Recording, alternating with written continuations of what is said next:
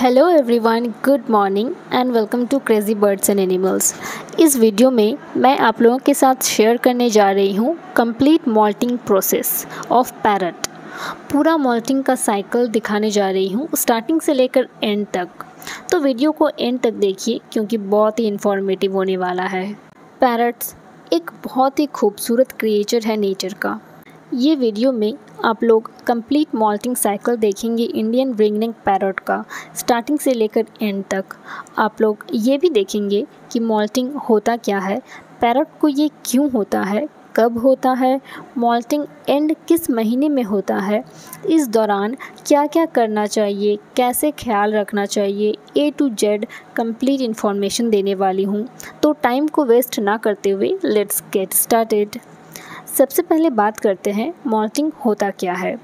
Moulting एक natural process है, जहाँ पैरोट्स के पुराने फेदर्स झड़ जाते हैं और नए फेदर्स ग्रो होते हैं एम्प्टी फॉलिकल से, जिसको पिन फेदर्स भी बोलते हैं। इस प्रोसेस को मॉल्टिंग बोलते हैं। जनरली मॉल्टिंग स्टार्ट होता है जून के मिड मंथ से। हावेवर ये डिफ़र भी कर सकता है, अगस्त या फिर सितंबर से भी स्टार्ट हो सकता है। सारे पैरट्स को अलग अलग टाइम पे होने का एक दो महीना डिफ़र कर सकता है। मेरे मिट्टू को moulting first week of August से स्टार्ट हुआ था और कुछ इस टाइप का दिखने लगेगा, जैसे कि आप लोग वीडियो में देख पा रहे हैं। इस दौरान होता क्या है पैरट्स के ओल्ड फेदर्स धीरे धीरे झड़ने लगते हैं और न्यू फेदर्स ग्रो होते हैं, जिसको पिन फेदर्स बोलते हैं। पैरट के हेड एरिया में और बिग के आसपास पिन फेदर्स विजिबल है। मॉल्टिंग प्रोसेस में पैरट का बिहेवियर चेंज हो जाता है। जैसे कि पैरट एग्रेसिव भी हो जाता है तो कभी कभार बहुत शांत रहता है। पैरट का फेदर्स ज़्यादा झड़ना स्टार्ट हो जाता है, पहले के मुताबिक। मॉल्टिंग प्रोसेस एक से डेढ़ महीने का होता है। थोड़ा बहुत डिफ़र भी कर सकता है। दो महीने या ढाई महीने तक भी जा सकता है। फ़र्ज़ में इधर उधर बहुत सारे फेदर्स गिरे हुए नज़र आएँगे। तो समझ जाइए, आपका पैरट मॉल्टिंग प्रोसेस में है। पैरट्स इस साइकिल में बहुत ज़्यादा सोना पसंद करते हैं। तो पैरट्स को सोते वक्त या रेस्ट लेते वक्त कभी भी डिस्टर्ब ना करें। पैरट्स इस प्रोसेस में अपने फेदर्स को बहुत ज़्यादा खुजलाते हैं ईचिंग करते हैं और ये कम्प्लीटली नॉर्मल है, सारे पैरट्स को ऐसा होता है।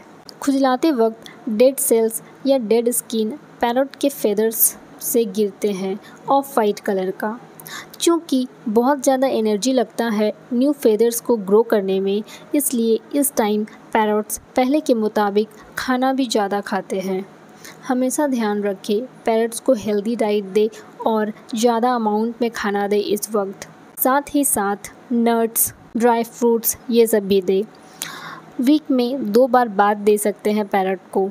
अगर पैरट्स को बात लेने में इंटरेस्ट नहीं है तो ज़बरदस्ती या फोर्सफुली बात ना दे।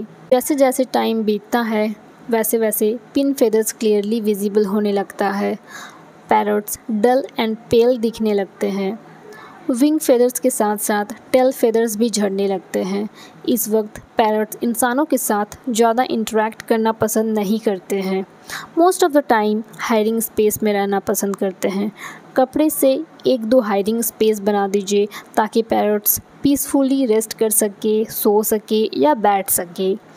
धीरे धीरे आपको नज़र आएगा, पैरट का फेदर्स का वॉल्यूम डिक्रीज़ हो रहा है, स्पेशली हेड एरिया में। मॉल्टिंग प्रोसेस के दौरान पैरट्स को ज़्यादा टच ना करें। इरिटेट हो जाते हैं पैरट। जैसे जैसे मोल्टिंग साइकिल एंड होता है, वैसे वैसे पैरट्स के सारे न्यू फेदर्स ग्रो होते हैं। वापस से धीरे धीरे नॉर्मल लाइफ में आने लगते हैं पैरट्स। पहले जैसे एक्टिव, ब्यूटीफुल एंड एनर्जेटिक हो जाते हैं। लास्ट वीक ऑफ़ सितंबर तक मोल्टिंग साइकिल पैरट का एंड हो जाता है। हाँ थोड़ा बहुत डिफ़र कर सकता है। आई होप इस वीडियो को सुनने के बाद और देखने के बाद आपके फेस में एक स्माइल आया होगा। आपका पैरोट सेफ़ एंड नॉर्मल है। कंप्लीट मॉल्टिंग साइकिल के बारे में अगर इन्फॉर्मेशन मिला तो लाइक करना ना भूलें। नए हैं चैनल पर तो सब्सक्राइब कर लीजिए। इंस्टाग्राम में फॉलो कर सकते हैं। इंस्टाग्राम आईडी है क्रेजी बर्ड्स एंड एनिमल्स मैं जल्द ही मिलूँगी नेक्स्ट इन्फॉर्मेटिव वीडियो के साथ। तब तक के लिए बाय